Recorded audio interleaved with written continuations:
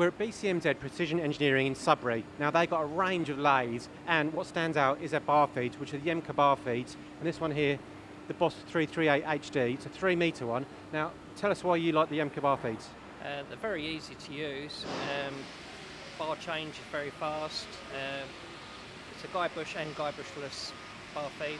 Um, So when you say easy to use, change over the different diameter bar, how quick does that take? uh, minutes, minutes to change over. Um, touchscreen is easy to use. So how long have you had the touch screen? Because that's relatively new to Iemca, is that right? Yeah, it's a, it's a new thing out on these new bar feeds. Um, every button just where you want it, even parameters.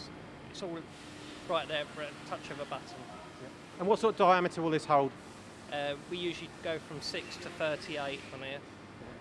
So it gives you flexibility. And you mentioned guide and guide bushless, is that right? Yep. Um, for Guidebush, um, the bar feeds back, and for Guidebushless, it slides slid forward, so you get more stroke through the machine.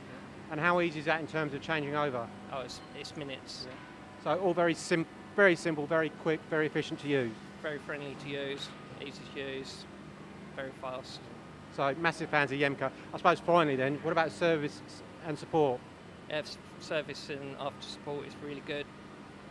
Excellent. Great little insight to Iemca. Thank you very much.